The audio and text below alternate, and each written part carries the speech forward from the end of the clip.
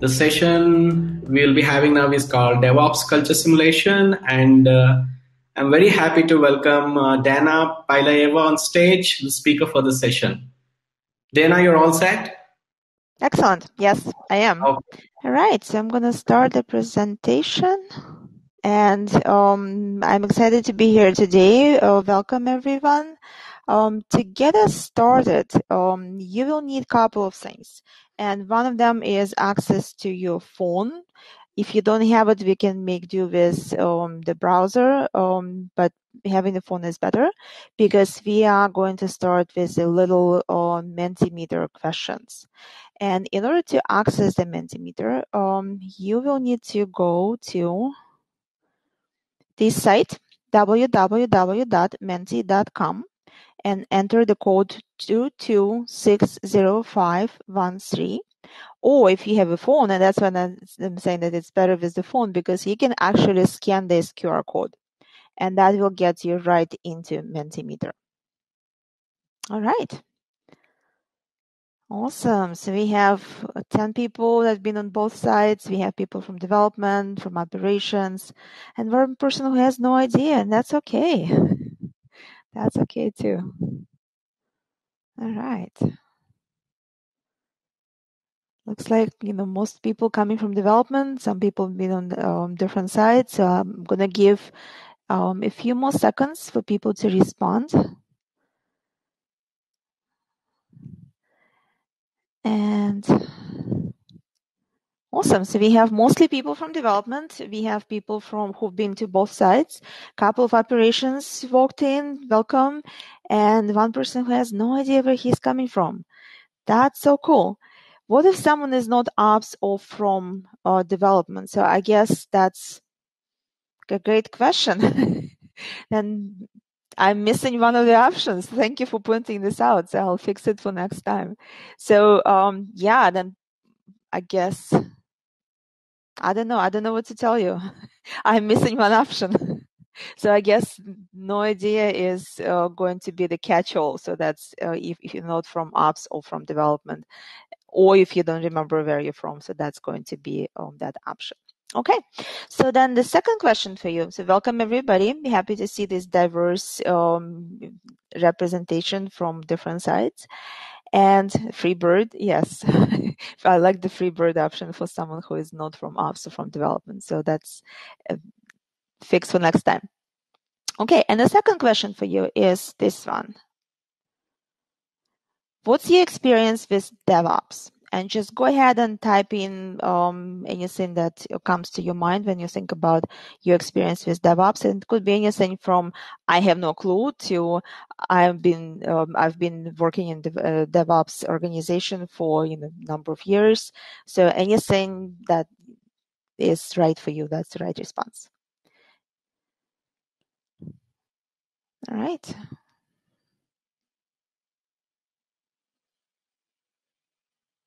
Very nice. And we get a nice mix of experiences, nice mix of backgrounds. Some people just starting up, some people have experience, and that's really nice. It always has, always have um, that um, additional um, benefit from having a mixed group of um, people, mixed uh, experience in the group. Very nice. Just been reading about it, hearing about it, theoretical knowledge. Yes, so that's all wonderful because this session is going to be very introductory session. So if um, you've been doing it for a number of years, it may be too basic for you, but you know, um, invite you to figure it out for yourself. If it's too basic, feel free to drop off. Or if you're finding it valuable, by all means stays. But this is going to be a, foundational um, level um, session. And um, typically when I run it in person, it would be um, an experiential workshop. Unfortunately, due to COVID, I'm not going to be able to run the Lego and chocolate uh, session with you because I can't pass Lego and chocolate.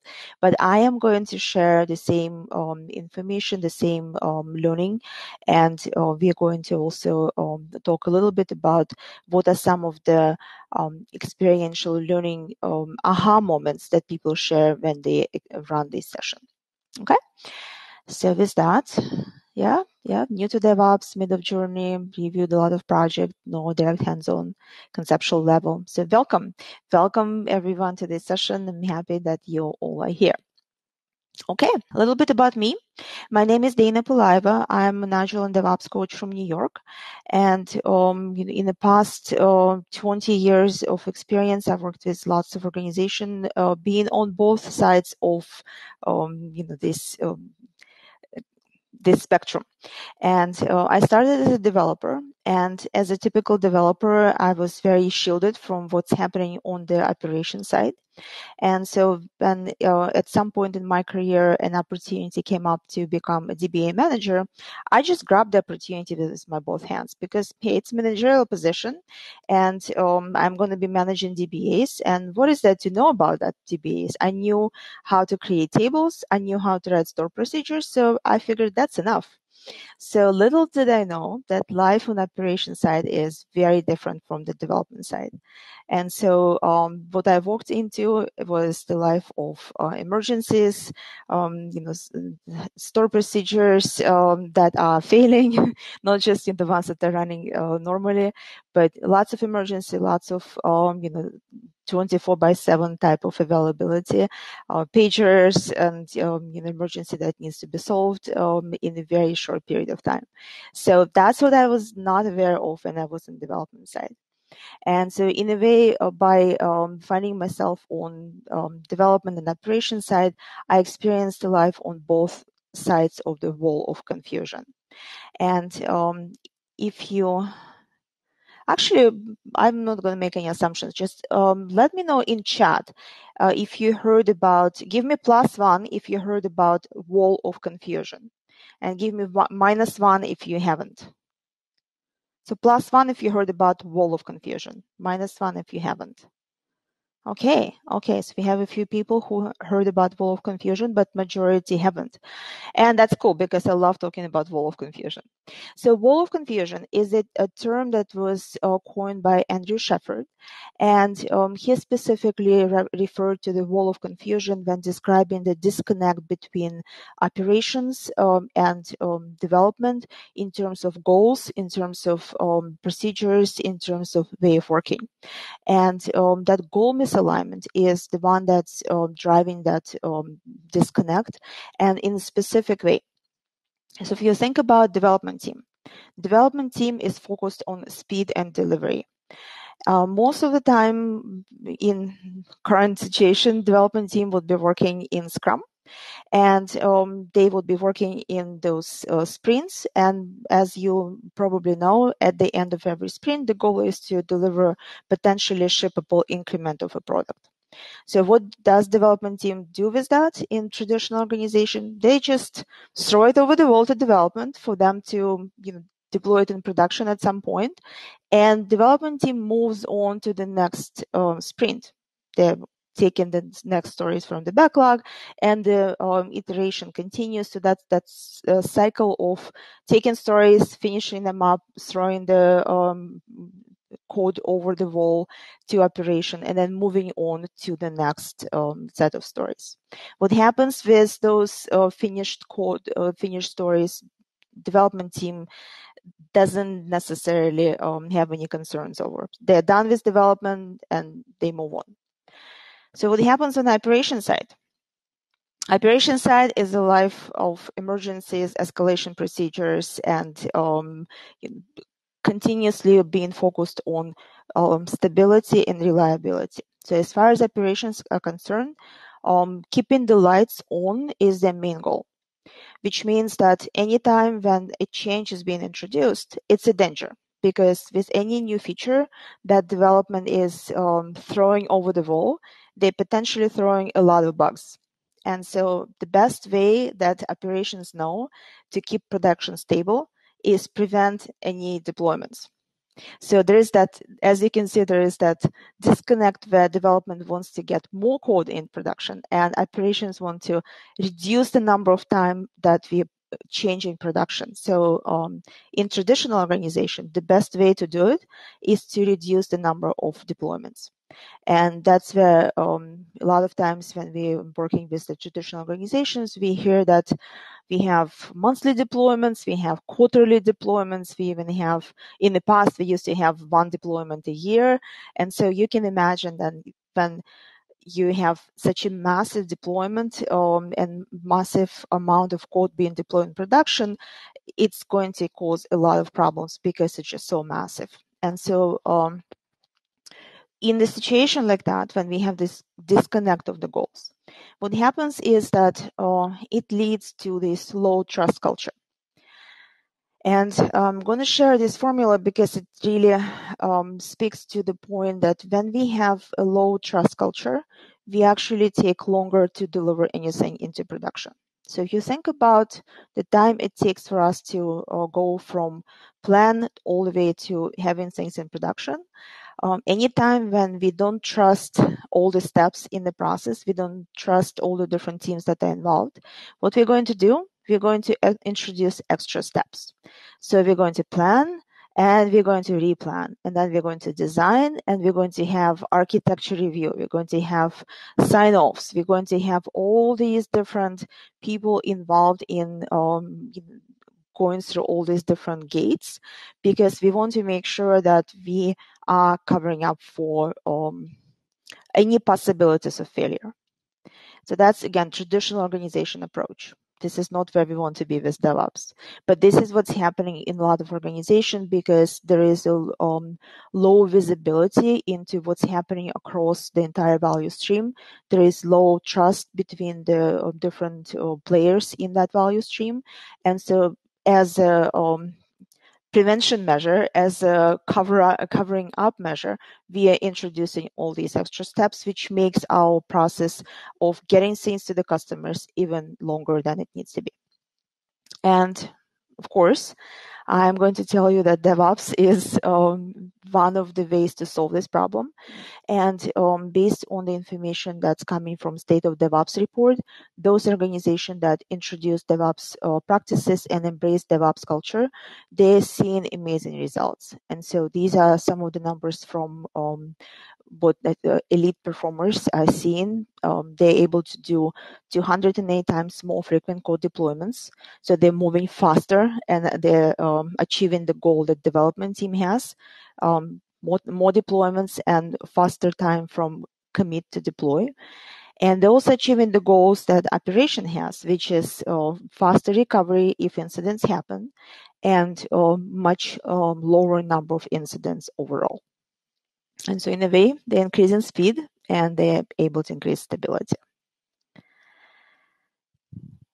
So if you're wondering who are elite performers, so the way how um, State of DevOps um, defines elite performers are those who are able to perform multiple times per day or on demand.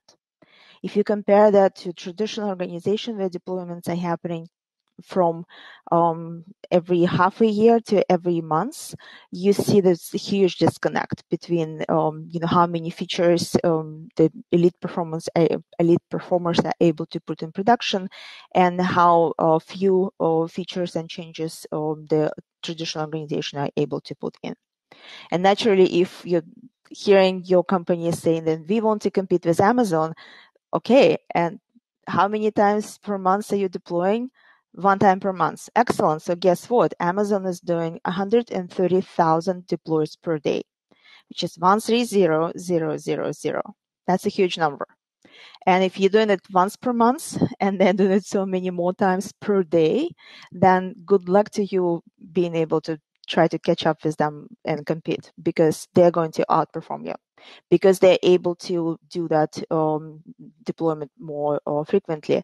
They're able to address customers' needs uh, better because they re-architected um, the entire infrastructure and they changed the architecture to be able to do that.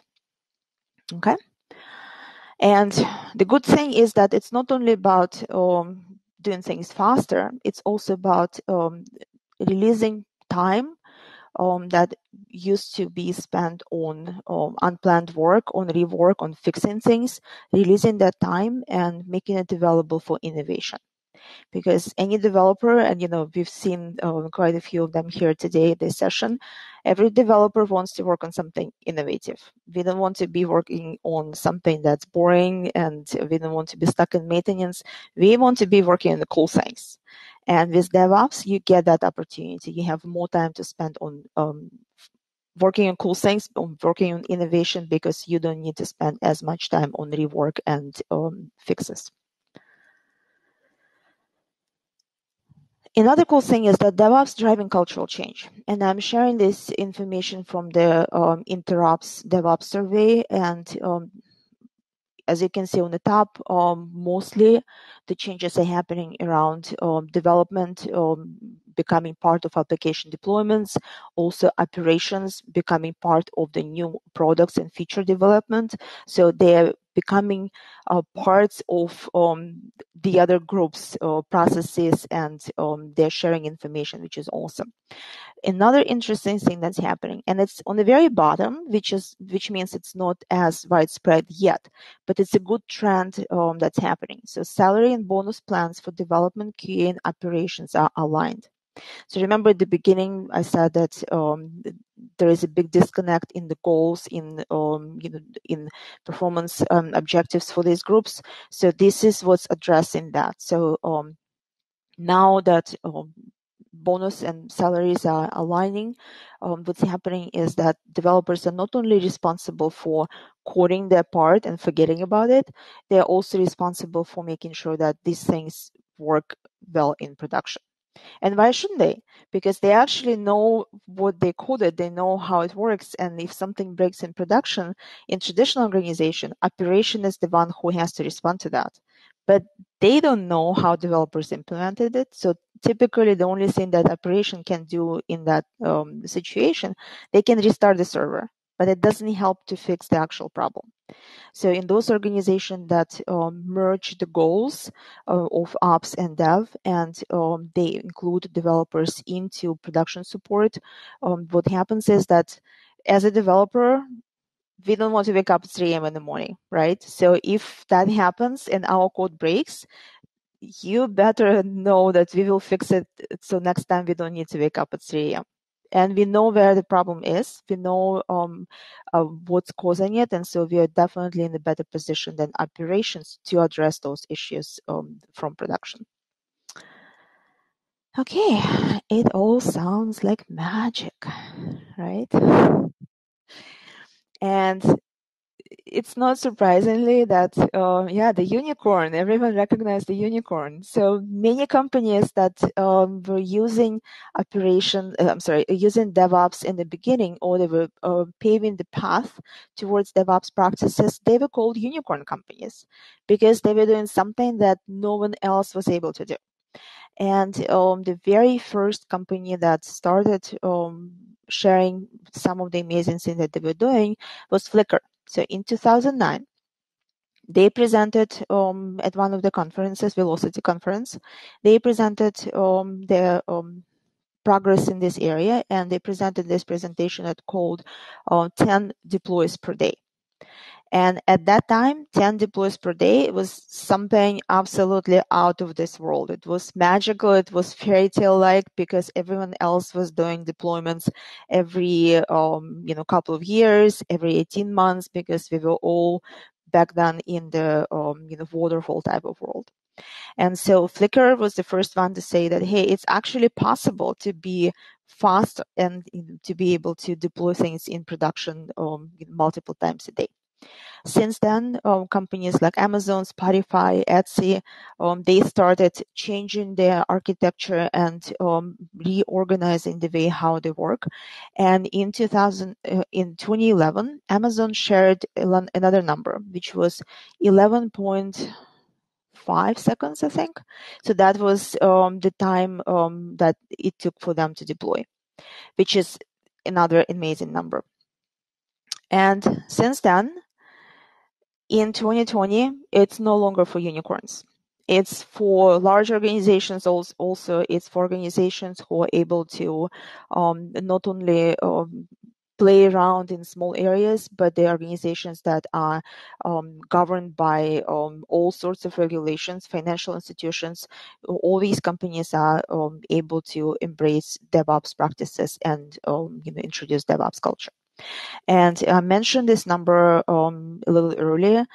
Um, now, um, actually in 2018, so I'm sure now the, the number is even higher, Amazon shared another number, which was 130,000 deploys per day which is something absolutely out of the uh, normal people's world. But again, this is something to know that it's possible. Doesn't mean that everyone has to be as uh, you know frequent in terms of deployments, but knowing that you have a way to deploy on demand or at a very high frequency if you need to, it's you know a good thing to know because that makes uh, makes it possible for you to experiment with the practices in your own organization.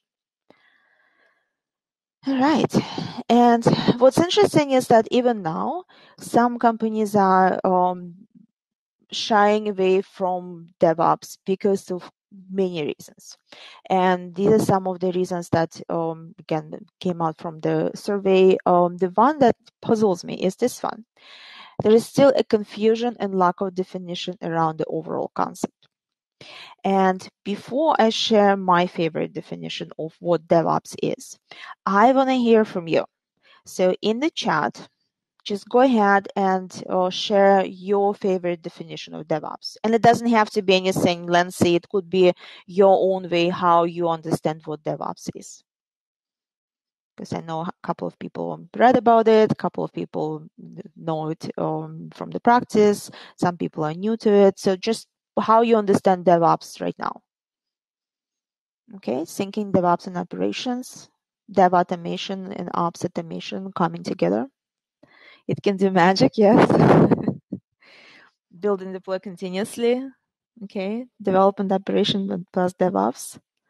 Provide value to end user. Mm-hmm. Let's do it together practices of dev and IT operations, development, testing, operations, security all coming together. I love that because yes, DevOps, it's not just development and operation, it's entire, entire value stream. And um, in some places you start hearing DevSecOps, Biz DevSecOps, Biz Dev, um, Sec ops. So it's like, it's becoming unpronounceable. But the initial meaning of DevOps was, you know, bringing the entire value stream together and being able to deliver end to end to the end user. And I'm going to share my favorite uh, definition. I like quick and stable. Yeah, that's pretty cool. Agile software delivery and operations. Okay, set of operations for iterative development, integration, and delivery. Yeah, many different. As as you can see, even from this group, we're getting many different definitions and continuously integrate and deploy, bringing value to customers. Yes, yes, that sounds wonderful. Okay, I'm going to share my definition, uh, my favorite definition. So my definition, but I, it resonates uh, really well with me. So um, it's about being mix of patterns intended to improve collaboration between development and operation. Um, DevOps addresses shared goals, shared incentives, as well as shared practices and tools. And it's important because, again, if we have multiple goals that are driving us into different directions, we're not going to collaborate to achieve something that is solving a problem for the customer. So here uh, it's about um, goal. Um, goals being um, shared, um, shared way to incentivize people for good work, and um, processes and tools that are either shared or understandable by both sides. Because it's hard to learn all the intricacies on both roles. But what's possible is to extend your skill set a little bit to understand what's happening in the operation side and, you know, how when you're as a developer um, building your code, how to make it more um, money, uh, how to make it more testable, how to make it um, such that it's easy to monitor, how to make it more secure. So knowing that information is helpful in um, you know your own work. And same way from the operation side, if you know a little bit more about what development is doing, you can um, know better how to support the code in production. So having that ability to um, extend your um, skill set outside of your narrow role definition is something that is um, very useful in not only DevOps, but even in our own uh, little Scrum team. We talk about the T-shaped skills, cross-functional teams. So very similar, taking that and extending it to the entire um, value stream. Okay, and uh, normally when we are on site, this is where we transition to actually playing the game. So we can't play it today, but what I can do, I can um, walk you through what is happening in the, in the game and uh, what are people discovering as they're playing the game. We do it in three sprints. And typically, first sprint is when we are simulating uh, the way how traditional organization works. And I call it feel the pain because we start from um, every table being a separate uh, group and separate group representing a functional group in a large organization. And so, as you would imagine, lots of silos, lots of miscommunication, lots of information not being shared. And uh, second sprint is about introducing first steps towards DevOps, and the third one we're simulating continuous value delivery and we have nine roles in the game. So every role has um, very similar um, type of responsibilities as you would imagine in a typical organization. And in addition, they have lots of dependencies. And so in the first sprint, they actually struggle a lot because they don't know who those people are that they depend on. They know there is a role they depend on, but they have no idea in the large room where to find these people. So just like in the large organization, a lot of times you don't know who is responsible for what. That's what's coming out in the first sprint of simulation. And so this is uh, the overall flow of the game. We have the business person who is uh, in charge of accepting and uh, placing different orders. We have um, Patricia Product, who is the product owner, and she works as the liaison between the business person and the development team. Uh, we have um, Danny developer who is building the packages based on what Patricia uh, tells him to do. We have tester who's testing the packages and then once they're ready to be um, brought over or thrown through the wall to the operations that's when you know um, things come into the operations world and the roles that we have in operations we have um, system administrator adam admin he is in charge of building environments he is in charge of um, monitoring production we have Sarah Security, who is a security engineer. She's looking out for vulnerability security issues. And we have Robert Release, who is in charge of building deployment packages and deploying things in production. So as you can hear from the terms, very similar to what happens in the actual world, except when we are running the simulation, we are playing with Lego animals. We're building Lego animals as the uh, products, and um, we're using Chocolate as our user documentation. So what happens in addition to that? In addition to that, some players get secret instructions because just like in the real world, we receive information uh, and we not always share it in traditional organizations we work with the um, marketplace board and so this is where uh, the business person is in charge of um, not only placing orders but also changing the price of those um, lego animals through the game so what that does it actually uh, shows um, to the um, other people in the room is that if they're not fast enough in delivering to the market the market demand may change and so in a way, it's a simulation for um, the, your competitors can beat you if you're too slow. And so this is through um, the use of this uh, market board, that's what we're able to show. Okay, and this is how deployment package, development package look like. So this is little Lego animal, a small uh, label in the package. The label is the one that Sarah Security will be using when she's looking for security issues.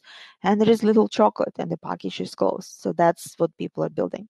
So what's interesting is that when we start working on this uh, game, um, a lot of times people are very confused in terms of um, what to build And specifically, I don't give any instructions in terms of how um, a little dog needs to look like. And they expect instructions. They ex- they expect that people will give them specific um, instruction as to how um, it needs to look like. And the point of the game is that they need to actually talk to the business and figure that out. And that's another learning that comes from the game that without that communication with the business, without uh, daily interaction with the business, uh, it's hard to build something that is addressing their needs.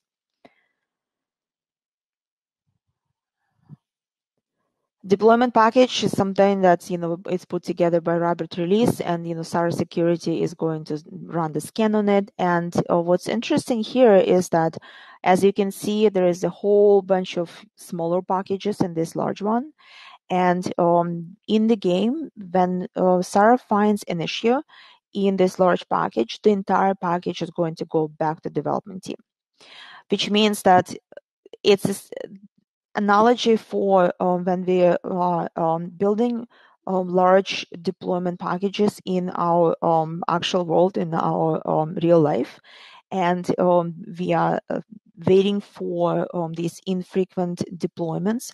What's happening is that we're introducing a lot of a lot of potential challenges because when we have the large batches of code that we're deploying, that's an opportunity for find more issues, for having more issues. Because um, as any developer know, when we start merging large um, you know feature branches, we will run into merge conflicts.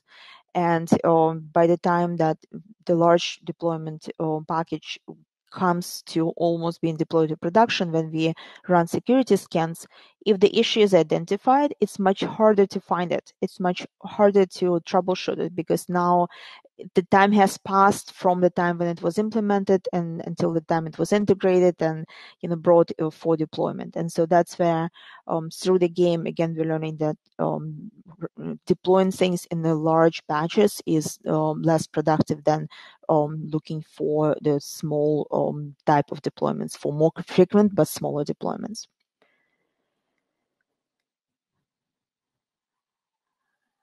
Okay, I'm gonna take a few questions from the chat. So there is one, we know ample number of benefits of DevOps, but still organizations shy away from it.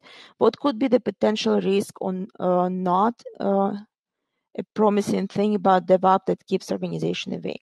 Yeah, and so um, that's what I mentioned that um, a lot of people, a lot of organizations are um, either confused in terms of what DevOps is, or um, they might be um, shying away from it because um, of the role security. So think about how with introducing new way of working, um, some of the um, roles are going to change. And people who have been doing those roles for a number of years, they may not be happy about that. So um, sometimes it's a resistance that you're seeing uh, from those um, individuals or from those departments um, against DevOps because DevOps is changing the way of working just like any change, even though it might be a positive change for organization on the ground, individuals might be resisting the change. Okay.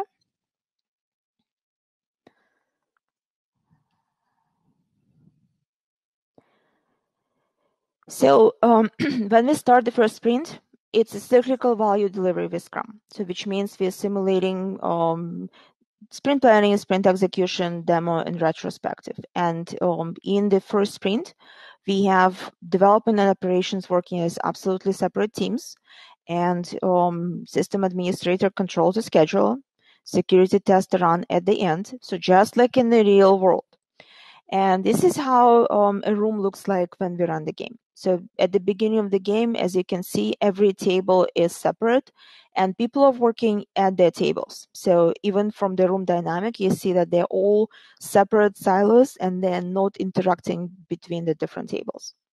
Another thing is that um, this red table, this is where operations sit. And so these people at the yellow tables, they're all development teams. And as a part of the setup, um, every developer needs to get their um, environment configured. And in the game, we're just using the masking tape to create that environment. But the only person who has that masking tape is an operation person from this table. So when these development teams are about to start building their Lego animals, what they discover is that actually they can't do anything because they do not have environments. Does that sound familiar? in many organizations, when developers start, they have to wait for someone to build them an environment. Yes, I'm seeing lots, lots of thumbs up. You recognizing the problem. Yes, and that's what in the game. It's easier to um, experience it, right? Because it's uh, much faster, much uh, more visible as the um, in the simulation. But um, when we're working in the real world, um, these are the things that are hidden. So we're waiting for things to happen. We're waiting for environment to be created. And so as developers, we're losing our time, right? And we are not satisfying any customers if we're waiting for the environment to be created. So that's another uh, challenge that DevOps is addressing because um, with DevOps, we're moving away from manual dev- uh, environment configuration that can only be done by a specific individual in operations, and we're moving away from that. We're moving uh, more towards um, automated um, environment configuration that can be built on demand. So any developer starting up um, in a specific group can um, build that environment on demand. Okay, I have no clue about DevOps, so I would like to know when do you know you have set up DevOps? Is there a blog book that would make me understand high level end to end processing steps? So, uh, yes, lots of books about that. And um, I'm going to share um, a few of them in this session as well. And how is DevOps different from Agile methodology? That's that's awesome uh, question. So if you think about um, Agile methodology um, as it was intended to be, there would be no difference because one of the things in the uh, manifesto is that uh, we need to satisfy the customer with early and continuous delivery of um, valuable product. So it's early and continuous delivery, right? It's not about building and putting it on the uh, shelf. It's about delivering things to production to the customer, satisfying the customer. So um, over time, um, unfortunately, what we are observing is that um, agile teams are focused on building more um, than on delivering. And so DevOps um, as a movement came to solve that problem because um, they're now taking what the development we're doing in terms of building things in the iterative manner and extending it all the way to putting things in production. So changing the processes that are there on the operation side, um, enabling that um, automated deployments, uh, in, enabling continuous delivery. So automating that, you know, second part of the process that stayed between developers building the features and the customers actually being able to use it. Okay. So, uh, lots of great questions coming in. So I'm going to move on and I'll take more questions um, a little later. So typical findings and debriefing of the first, um, you know, sprint. Organizational silo, local optimization, missing market opportunities.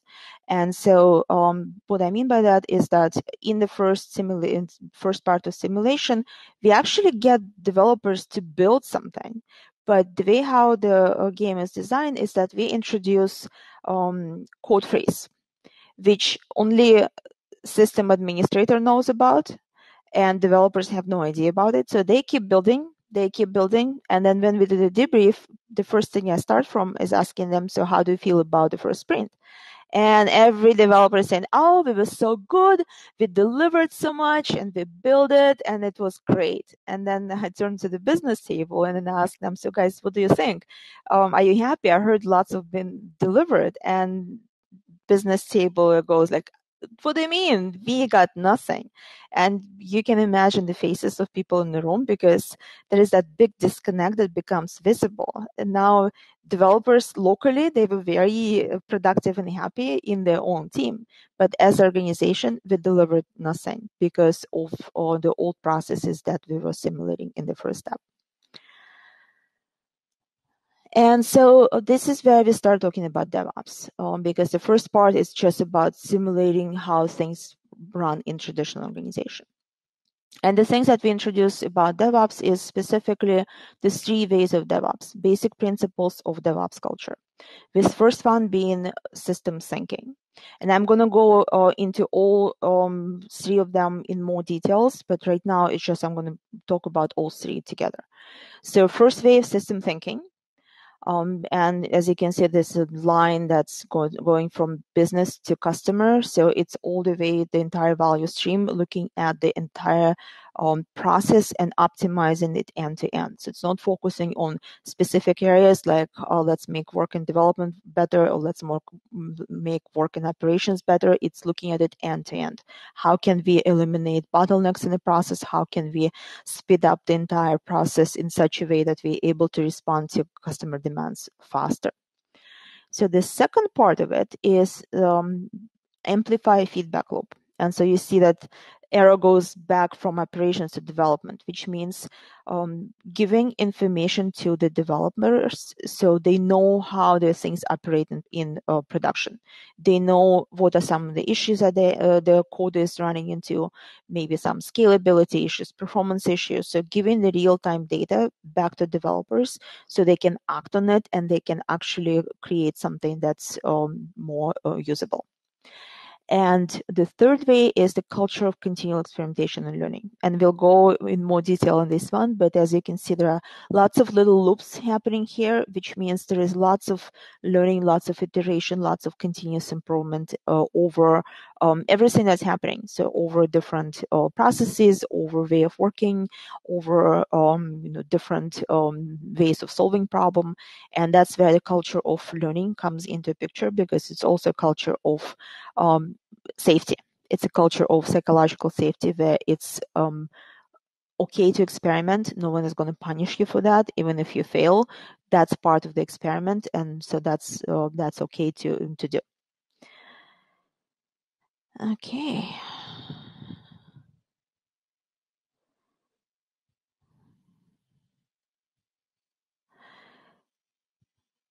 So let's look closer at this first way of DevOps system thinking. So uh, I'm going to show you this picture because um, to me it represents how um, in many traditional organizations uh, processes and bottlenecks are happening between the different departments.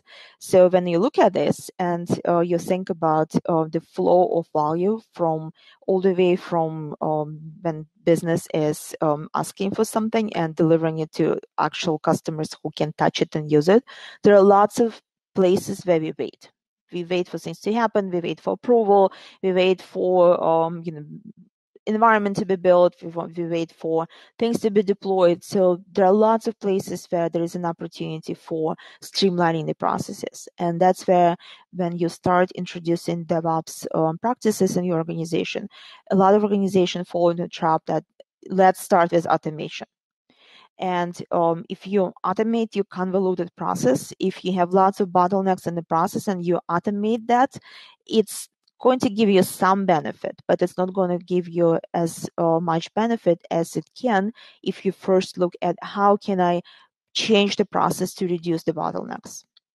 And um, only after that how can i automate it but first how can i remove those um, you know silo mentality how can i remove those extra steps that i have in my process or extra approvals extra bottlenecks extra weights how can i reduce that and um, i love this quote from um, phoenix project by uh, Gene Kim. Um, any improvements made anywhere besides the bottleneck are an illusion. And so that's what happens in organization, that's also something we discover in the game. Because when we try to make changes to development team who was already very productive and happy about delivering, uh, about building, our bottleneck is elsewhere. Our bottleneck is in deployment. And so making making developers more productive or asking them to work three times harder it's not going to change anything if the bottleneck is in deployment area your customers are not going to get anything you'll make developers working harder but it's not the problem here the problem is in deployment area so looking at how can we solve the bottleneck there that's a better way to um, you know approach that you know problem in the value stream for that organization Any questions so far? I know I've taken a few. What is better for DevOps team, Scrum or Kanban? Oh, that's a really cool one. So um, with Scrum, you have this cyclical value delivery, right? So you have, even if you have a small um, sprint, it's still probably a week long. So um, if you're truly working in a Scrum fashion, then you're only going to be delivering every um, week. With Kanban, you have that continuous flow. So you're able to uh, work on um, the small number of items at a time. So you have that work in progress limit and it helps you focus better. It also helps you get things um, into production if you have everything set up, right? So you can put things in production uh, without waiting for a specific end of sprint. So for some organizations, there is a mix of things where they use um, Scrum for um, development practice and um, for planning, for having that cadence of specific events. And so they're able to um, retrospect in, at a specific cadence, they're able to plan for um, a specific sprint goal, which is helpful. But another thing that they do, they uh, can um, separate the planning part from the deployment part. So even though they're working in the sprint fashion, they're able to um, use the continuous um, delivery, continuous deployment um, in parallel with that. So in a way, it's become like more Scrum, Scrumban. All right, what else is here? Which practices is best practice for DevOps team to work when org have multiple development teams? Assign DevOps member to different team teams. DevOps manager managers assign work to the DevOps member, which come from different development team. So great question. And um, one uh, the the option number one assign DevOps members to different teams. So that's solving one problem right? So it's solving the problem that you, you um, bringing the expertise to um, different teams, and so development um, that um, operations team member is available um, to help when needed. Um, another option, um, so the option with the um, manager assigning work, um, so that's something that I wouldn't recommend because in agile world, in DevOps world, we are encouraging self-organizing teams, which means that people are volunteering for work rather than a development manager is assigning work. So that's already an anti-pattern. And um, another thing to consider is something that's uh, that's called T-shaped skills. So that's helping people in the development team to learn those additional skills that they're lacking at the moment. So in this um, scheme of things, that a member of DevOps team may become this um, temporary temporarily mentor or um, you know person who will be able to help get up to speed cross train um, people in the development team to help them build those additional skills Automation is another thing that's helpful here. So uh, the DevOps uh, team member uh, may help with um, creating, um, for example, chef recipes um, or um, specific scripts that enable that environment creation on demand, and then teach um, members of development team how to apply those recipes, how to use them to create the environments.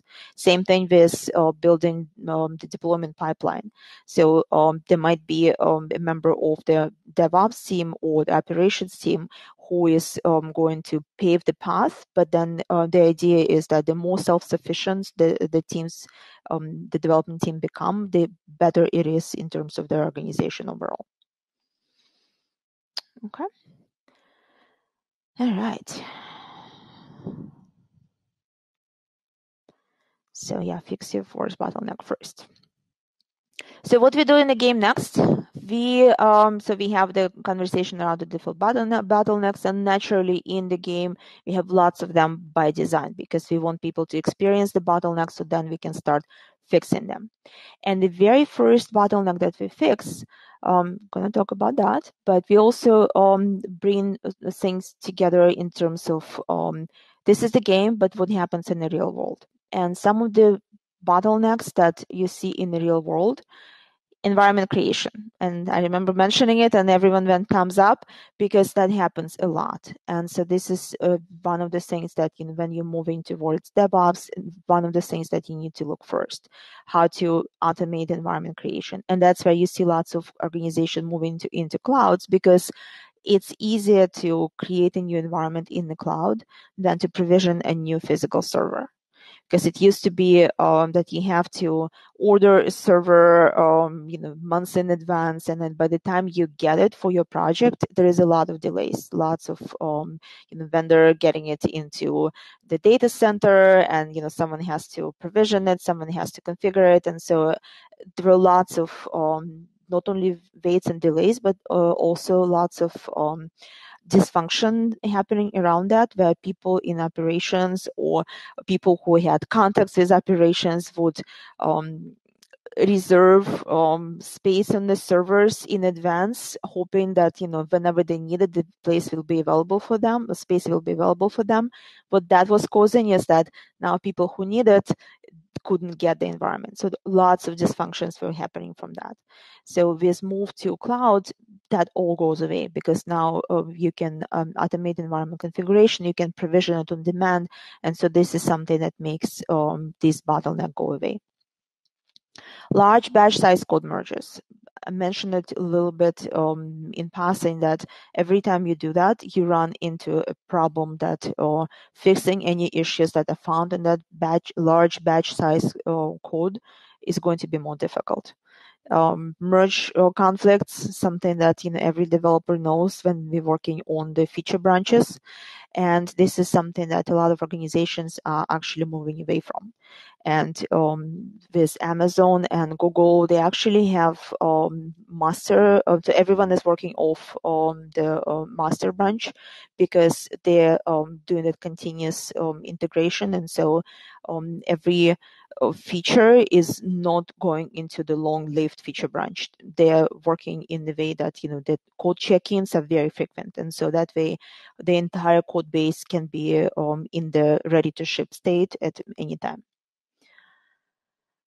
Code deployment. Again, it's a bottleneck in many traditional organizations, and this is where the, uh, creating that um, continuous delivery pipeline, uh, CI/CD pipeline, is something that's addressing the bottleneck here in code deployments.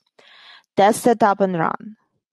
Overly tight architecture, and this is the one that um, makes it difficult for many traditional organizations to move towards DevOps because if you have monolithic application that you have to work with, it's very difficult to think how can I um, make new uh, changes in the small, um, you know, size batches. Because if you look at the monolith, there are so many dependencies that it's hard to, you know, change it in a small way. The, the many areas of the code are going to be affected.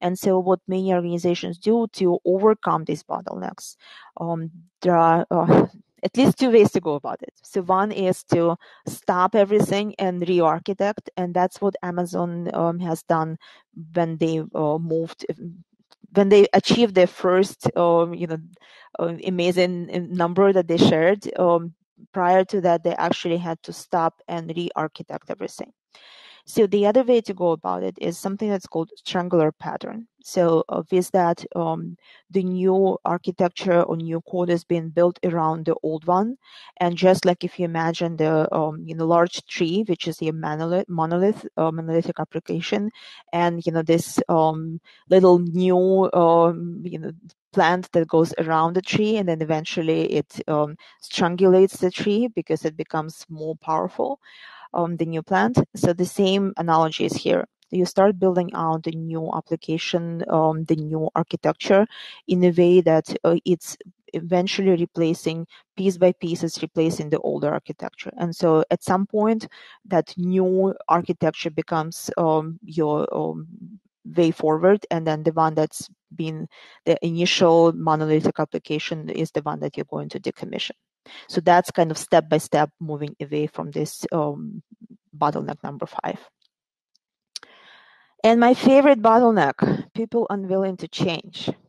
So just like I mentioned um, in, in, a few minutes ago, um, sometimes that's what's driving the biggest resistance to DevOps transformation, because people think that with DevOps, like if I'm in operation and I know how to do things manually, now you come to me and you tell me, Dana, we're going to automate everything you're doing. How do you think I'll feel? I'll be resisting, right? Because I don't want my job to be automated out. So what's um, important to um, notice in this area is that um, with automating some of the manual tasks that operations is doing today, uh, we are actually helping them to not only um, create space for more innovation because they don't need to do that manual work anymore. They're also getting an opportunity to learn a lot of really cool um, new technology that comes with um, you know DevOps automation, and they are um, having this opportunity to upskill themselves and become more marketable uh, in the um, job market because DevOps skills are very um, in high demand, and so uh, with the um, knowledge that operations have in terms of how um, you know all this hardware works and how to make it, uh, how to tune it, how to uh, you know optimize it for production performance. Um, all that knowledge is not going to go away. They can reapply it in a different way using new skills and uh, new tools, and they're the position the best in um, know, making it happen. So it's not that the job is going to go away; it's going to be redefined, and it's if you on board with it, you're going to be in the best position to um, upskill and to become really marketable in the job market. So that's that. And what we do in the second sprint, we change a few things. So we move um, security engineer into the uh, development team. And what that does is that now instead of running security scans at the end, we start sharing information about security issues from the very beginning. And so that makes a huge difference in terms of um, how much better developers are able to um, you know build things in the game but also in the real world and that's when you hear people talk about um, DevSecOps. This is what um, one of the elements of it is that that uh, we're making security information available to developers from the beginning. So instead of testing at the end for security, we are um, building security in, or we're doing something that's called shift left on security. So that's um, one of the practices that you know, helps to um, deliver faster because now we are not um, stopping and rebuilding, uh, fixing issues that we find at the end. Instead, we are building them in such a way that they're secure from the beginning. And another thing we do here is that we um, do this exercise that um, simulates the um, building T-shaped skills. And so um, I'm going to ask you another question. Give me plus one if you heard about T-shaped skills and minus one if you have no clue what T-shaped skills are. Okay, okay. All right, most of the people heard about T-shaped skills. All right, all right.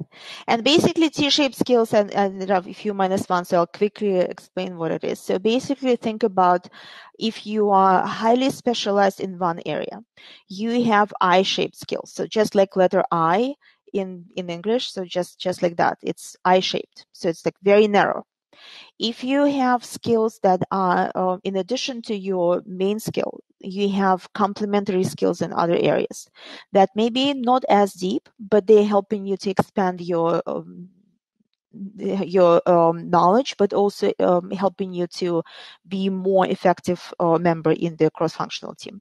So then you have T-shaped skills. So it looks like letter T in English, right? So you have the deep skill set in your area and this you know sh- uh, shallow but very broad um, skill set in you know other areas that are complementary and so uh, what that helps is helping with removing bottlenecks because if someone is um, let's say the oper- we need um, specific operation skills in the area but operation person is busy and others know a little bit about that, then operations person at least can guide others how to do it. Or maybe there's something small that others can help with addressing while operation person is focused on um, the more difficult task.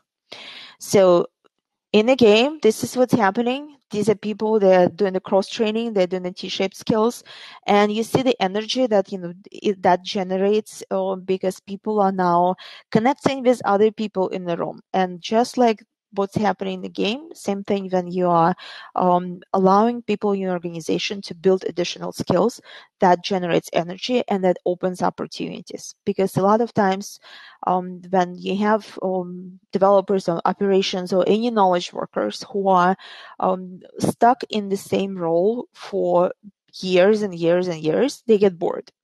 And um, if they don't see new opportunities for them within the current organization, they may decide to leave that organization and go elsewhere to find the new opportunities for career development, for um, you know progression, for achieving mastery, right? Because the knowledge workers we know we're all um, more driven by intrinsic motivation, so autonomy, mastery, and purpose. So those are three things that we look for. And with um, having the um, opportunity to um, cross train, to expand the skill set, and maybe even move into different area of the technology organization, that's an opportunity that you're giving to your people in your company to achieve mastery without leaving your organization. So that's another uh, reason why you know building the T-shaped skills and encouraging that you know role blending, role switching, uh, expanding the knowledge is helpful for the organization because you're keeping all the talents in your pool versus um, you know seeing them leave and going elsewhere. Okay, uh, a couple of things that we do um, throughout the game. I'm using a lot of um, techniques that are called liberating structures that are amazing for debriefing. And um, I'm going to share a couple of them with you. Um, again, because we don't have um, breakout rooms in the way how um, I could use them for liberating structures. You have to imagine how they work, but you know I encourage you to give it a try uh, because they are very useful in um, bringing everyone's opinion and everyone's um, ideas um, into shared conversation. So one of the simplest one is something that's called one two four all, and this is where we start with one minute. Everyone just writing down the response to a question. When we're doing the uh, debriefing, we are asking the question around the simulation, but you can use it for any other purposes. It could be a problem you're trying to solve in your current sprint. It could be something around um, questions for the next release. So it could be anything. You start with one minute. Every person individual in silence, just you know, writing down um, as many answers as they have uh, within that one minute.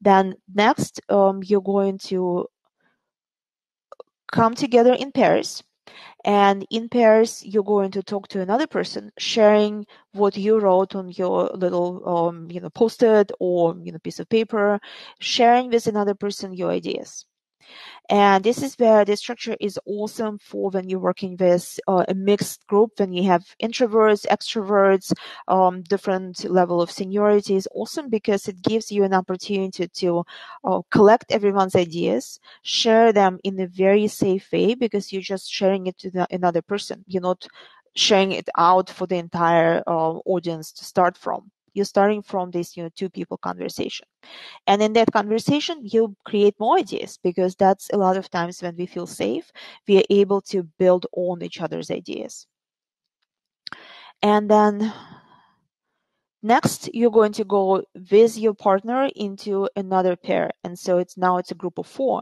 And now again, you're talking to a small group and you're now able to bring ideas from every group and um, think about what is the best learning, what is the best idea that we want to share.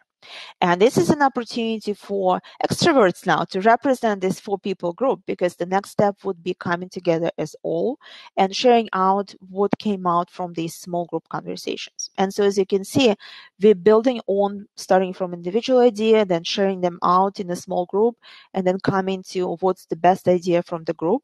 And then um, this way we're getting a lot of different ideas from the entire group. And the group could be anywhere from, it could be as small as four people people. but you know it also works amazingly when you're working with the large groups and um, you know i use it a lot um, when i do um, you know conference um, you know, live conference presentations for just you know collecting questions from the audience because that way everyone got to ask the question not all of them were heard by me, but all of them were heard by at least another person in the room. And you know, it makes that uh, so much more uh, engaging uh, for people in the uh, in the audience, but also it makes it safe. So that's something to try um, when you're running it um, in your organization. So some of the aha moments that are coming from this sprint too. And so I took a few um, you know, screenshots from the actual post-its when I was running it. But as you can see, lots of people are commenting on broadening the T-shaped skills as a developer, more engaged with the product, more collaboration, more gets done. So again, through this simulation, they're able to see that um, positive effect of working in a different way instead of being a siloed. Now working together, knowing more about what's happening in the in the other group, expanding that uh, you know system level perspective. And that brings us to the second way of DevOps, the amplify feedback loop. So this is where we talk about small batches, because uh, just like um, in the congested highway, if you're in the large truck on a large car, you're stuck. But you know, as um, you all seen, I've seen it with my own eyes when I was in India. Um, if you are in a small uh, bike, you can move so much faster, right? You can just you know drive around all these different um, traffic jams and you can get to your destination faster. Yes. So same way with the code. When you're deploying in small um, batches, this is how you can get through your pipeline faster. If you have large uh, code batches that you're trying to deploy, you run into many issues because there's just so many more opportunities for failure. And another, um, so the faster you get into production, the faster you're going to get that feedback loop because you're able to um, get it to the hands of the customer. So another thing about the feedback loop, um, so you might have seen this diagram. I will actually go and talk about that diagram. So um, CI/CD, that's another thing that introduces uh, the feedback loops. And the third type of feedback loop is giving information back to the um, teams um, from the live production monitoring. So I covered that. Uh, and then um, someone was asking about the books. So Continuous Delivery uh, by Jez Humble and David Farley is an amazing book if you want to get into details of what is continuous delivery and how to implement it. So definitely highly recommend this book um, to, to get started. And this is a diagram by Jez Humble that I wanted to share because it gives a very good insights into different level of um, feedback loops that you get with continuous delivery. Just like you see in here, when um, the code get checked, uh, gets checked in into version control, it triggers the automatic um, testing right? And so then build and unit tests um, are going to either fail or pass. If they fail, then feedback is going to get immediately sent to the developer. So developers not going to wait for weeks or months to know that there is a bug. Immediately as they checking in and the unit test runs, this is where they get that first feedback. So your feedback loop is closing really fast. So if unit test didn't fail and the build was successful, then it gets promoted to the next level, which is we're now running automated acceptance test. And the same thing here. If it fails, immediate feedback to the developer. So the code that you just checked in passed on the first step, but it failed on the other. So that the issue that you introduced was in that last piece of code that you checked in. And that's why, again, the larger the code that you're checking in, the more difficult it is to find the problem. The smaller it is, the faster you're able to find the problem and fix it and move on. And so next, same here. So if it doesn't fail here, it gets promoted to the next step and the next step and the next step. And this is where you see there is little approval. So um, these two steps could be done automatically. It could also be done manually because in some organizations, um, they don't um, need the um, actual production deployment to be done all the time. They want to time it with uh, specific marketing events. They want to time it with um, you know, maybe some other um, business related um, may require manual approval. But having an infrastructure that is uh, in place and you can by the push of a button send that code into production knowing that everything prior to that was well tested and you know there are no issues and no security issues. So it's ready to be given to um, customer hands. That's what um, CI/CD enables you to do. Okay Live production monitoring by the teams. Um, we're talking about telemetry. We're talking about um, having different uh, ways to monitor um, how your code operates in production, and not only monitor it by operations, but also sharing this information with the development teams sharing, you know, how well the new feature that they deployed, how well is it being used, how well is, is it performing in production, is it um, scaling well enough given the number of users that are accessing that feature. So again, not only it closes that feedback loop faster and is useful information to developers um, to know how it's performing. It's also very rewarding uh, for the developers to see that, hey, the new feature we were working on, it's in production and look how many users are accessing it and using it. So seeing it in action that whatever they developed is being used. It's very positive feedback loop that uh, helps people to stay um, energized about their work. So that's also a um, positive aspect of that. On-call rotation having developers initially self-manage their instances of production servers. So again, different types of feedback loops. With on-call rotation, you get developers who wrote the code to be part of the on-call, which means that they have a pager pager and if something breaks, they get paged and they will need to address the problem. Sounds very different from what we typically do in traditional environments, where there is that separation, segregation of duties, separation of controls. Here we actually get that information into developers' hands because they're the one who know how to fix it. And they also take responsibility about fixing it because again, they don't want to wake up at 3 a.m. in the morning, right?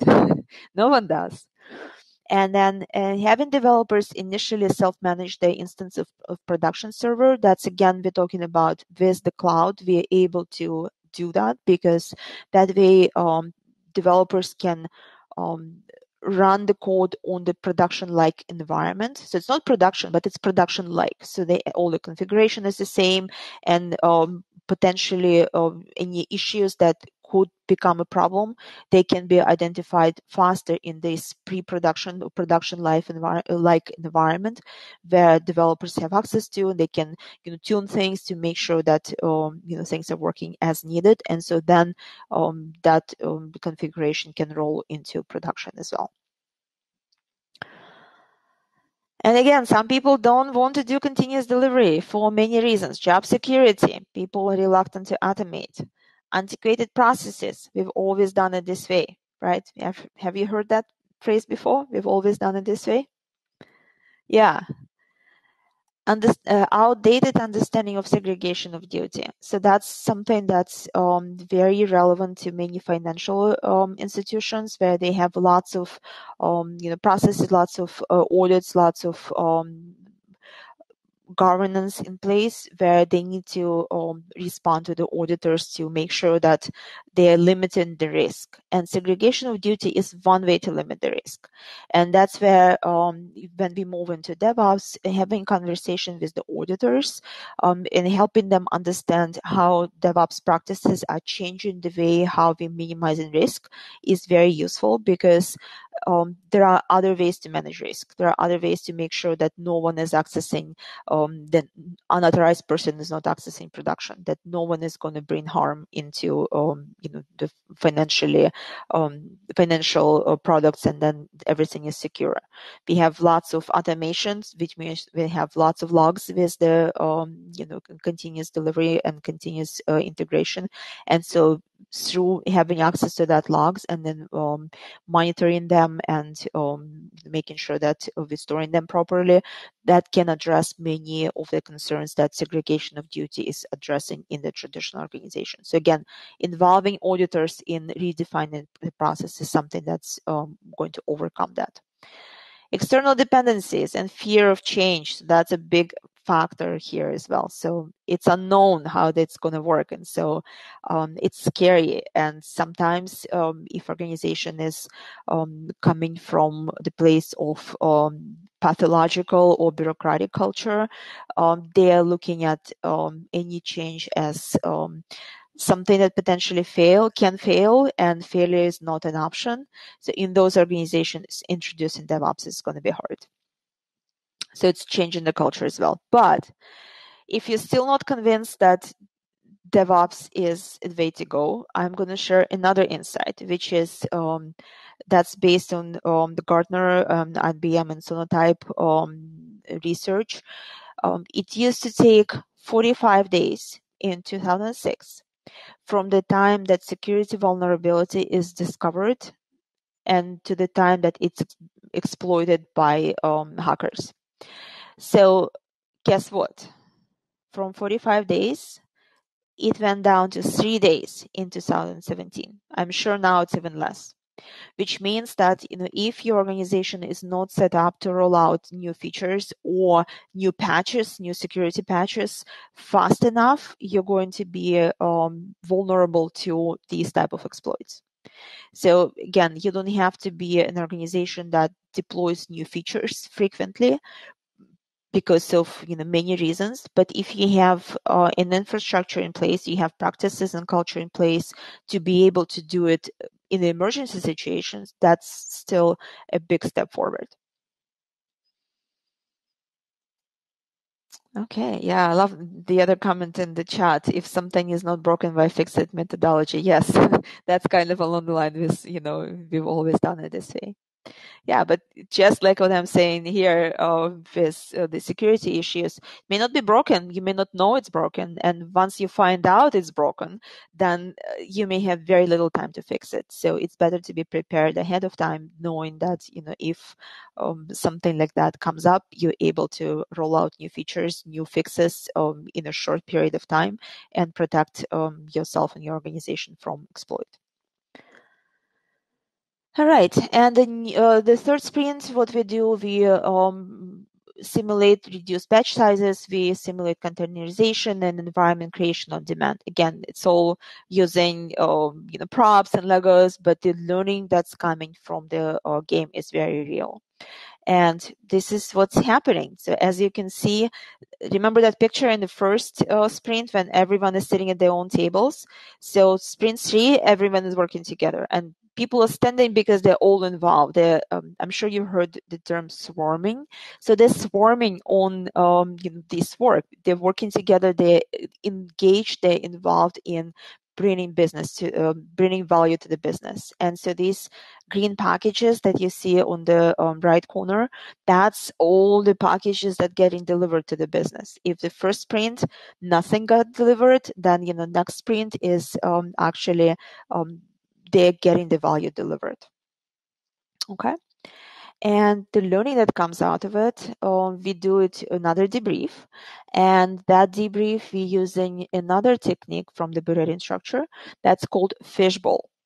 And again, I'm going to talk about it, but I encourage you to try it when you have a chance because it's another way to bring out lots of ideas, starting from that one minute writing things down on a piece of paper to um, doing the second step, which is that fishbowl debrief. And this is where you have five chairs. One chair is empty, and then the other four people just, you know, whoever wants to talk, they can come out and, you know, sit in those chairs. And they start having conversation are debriefing on the game, but it could be anything, right? It could be this. This is another liberating structure you can use. So they having conversation with each other in the fishbowl. Everybody else in the room, they're observers, and they're listening into this conversation. They may, you know, questions that they will, you know, ask when they're in the fishbowl, because that empty chair is an invitation to join the fishbowl. And so the way how it works, anyone can jump in on that empty chair. What's going to happen is that the other four people that were in the fishbowl, one of them has to give up their chair because the rule is there has to be an empty chair at any point as an invitation. And so it creates this interesting dynamic that for one thing people who are in the fishbowl it gives them a sense that they're just talking to each other. It's like um, they having this conversation they're debriefing they're sharing what they found out through the game. And then others are almost like watching talk show except you can actually join that talk show because that chair is available for you and because he had written some of the things on the uh, post-its before going into Fishbowl, it makes it easy for um, even the introverts to jump in because they don't need to think on the fly. They can just read what they had on their post-its. And that's already a way for them to contribute into this discussion. And again, give it a try because you'll see how valuable it is in bringing out different people's idea into shared uh, space. Okay, and these are some of the things that come out um, during Sprint 3. So people comment on um, improving transparency, uh, more products getting delivered. Um, I love the harnessing energy and enthusiasm. You can actually feel that. You can see it in the room, and it gets people excited about DevOps. Gets people excited about seeing that you know they're expanding the roles. There is a little bit confusion that gets created it, that's normal because you know as we're learning something new there will be an opportunity to be confused. But if we don't accept that that's part of the learning we're never going to try anything new. And with devops there is a lot of new things that you need to learn. And that's where organizations that enabling that learning culture are going to be the one who are going to win. Which brings us to the third way of DevOps, culture of continual experimentation and learning. And what this is about is about um, organizational learning, safety culture, and um, even doing practices like injecting failure to test resilience. One of the best examples in that space um, is what um, Netflix created um, as uh, something that's called Chaos Monkey. So give me plus one if you heard about Chaos Monkey. All right, it's in thumbs up. Okay, very cool. So Chaos Monkey is a special um, you know, application that uh, is designed to kill production servers at random. So just like uh, something is working in production and um, you know things may fail, instead of um, trying to solve the problem when it happens unexpectedly.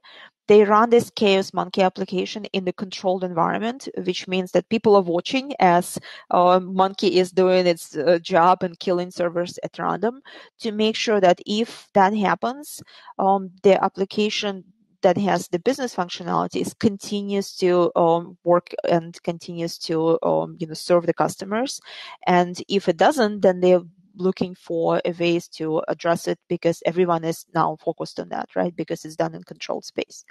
But that's exactly what this injection of failure means is that injecting failure um, when you're watching, that way you can build your um, system in um, in the way that is going to be resilient when things fail when you're not watching and that speaks a lot about you know culture of um, learning right because it's expecting failure and being resilient to that failure and knowing that it's okay if we fail as long as we learn from it. And um, another thing, the safety culture. So um, if you've seen the uh, 2019 um, report of State of DevOps, um, if you read uh, the latest book by Gene Kim, um, it's called uh, Unicorn Project, psychological safety comes in front and center, front and center, because this is something that's helping organizations to be more effective because this is something that enables us as individuals to contribute at the best possible way. Because we're not afraid because we're not trying to uh, filter what we say. We're not trying to think about oh am i go- i have an idea but what if someone is going to think it's stupid? Mm, i'm not sure. So we're not going to go through all of that. We're going to uh, share um, freely what we think and uh, contribute in the best possible way and that will generate new innovation and generate innovation and new ideas new opportunities because of that culture that enables that, that to happen very quickly, some of you attended my session two days ago and you've seen this slide. So this is um, my uh, version of Ron Westrum's um, organizational cultures. So three cultures types, um, pathological culture where if things go wrong, then you know, organization is trying to hide it and then and punish the person who um, you know, found it or exposed that bureaucratic culture. We're fixing things locally. We're not sharing. We're not learning as an organization. And generative culture is where we're actually looking for opportunity to learn from the failure and share that information with others. So that's where practices like blameless postmortem happening. We um, leaders are inquiring about um, what was wrong in the system that caused someone to make that decision that was a wrong decision. So what do we need to fix at the system level versus who do we need to fire. So that's that's a big difference between the cultures. And so devops is um, thriving in the generative culture and that's what enables um, these practices and this culture to be adopted the culture of learning culture of experimentation uh, that's another interesting chart that I'm going to quickly share. So this is information about DevOps um, practices penetration across the different um, you know practices. And what's interesting here is the question was asked to different um, um people in organization, people at the team level, management, and the C-level execs. And what surprised me and actually speaks a lot to that culture of um, you know, pathological bureaucratic culture is that there was a huge disconnect between how uh, people on the ground knew how things are happening and what people on the top of organization thought that you know is happening with DevOps. My favorite one is this one. Incidents response are automated. So people in the C-suite think like, oh my God, everything is under control. We have all the incidents response uh, that are automated and people on the ground know that, yep, that's not exactly the case. So when that happens, when people are not um, feeling safe to share even information about how DevOps practices are being adopted in an organization, it's a problem, right? Because it means they're not going to share anything um, that's even more um, serious or potentially dangerous um, that C level needs to know.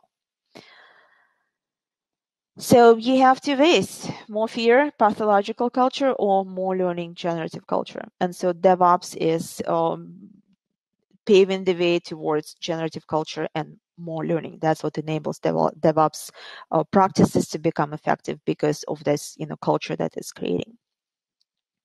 And so in the chat, my last question for you, if you were 10 times bolder, if you had all the, um, you know, bravery that you can gather in the world, what big idea would you experiment with in your organization? Just think about if nothing was stopping you, if you were brave enough to do it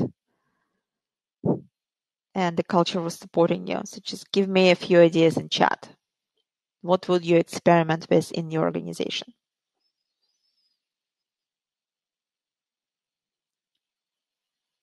Four days work week. Sounds good. Chaos Monkey. Yeah. OKRs. Okay. Self-service IT. Love it. Very cool. Very cool. Come on. I need more brave people in this chat. Come on, people. You're not saving this chat, right? So we're not going to share it with your employer. So just feel free to come up with more ideas uh, to more ideas to experiment with. Knock down functional departments, make feature teams. Yeah, love it. Innovation. Yep. Yep. In banking and, and no sprints disruptive behavior. All right. All right. Yeah, very cool. Okay. Thank you. Thank you for those brave souls who responded in chat. Uh, comp- compete with Amazon daily delivery numbers. Yeah, that's awesome. Thank you. Thank you, everyone. Fantastic. And there's some other books that I highly recommend, um, you know, looking into. DevOps Handbook. This is one um, that you know if you want to read and get to know like how to do it, this is the book. if you want to understand why Phoenix project is uh, amazing for um, getting your head around um, some of the typical challenges in IT and how to solve them. Continuous delivery, I mentioned that already. Accelerate, another great one. Uh, fearless organization, that's the one that um, Amy Edmondson wrote about, uh, specifically leadership practices that enable psychological safety. Goal is a fantastic book. Liberating structures this is a collection of all the different facilitation techniques. And then my introduction to devops with chocolate lego and scrum game once we get back into the physical world you can read up how to facilitate the game. And with that thank you very much. You've been a pleasure to give the presentation to you. i appreciate everyone's uh, involvement and uh, brave ideas that were coming in. Thank you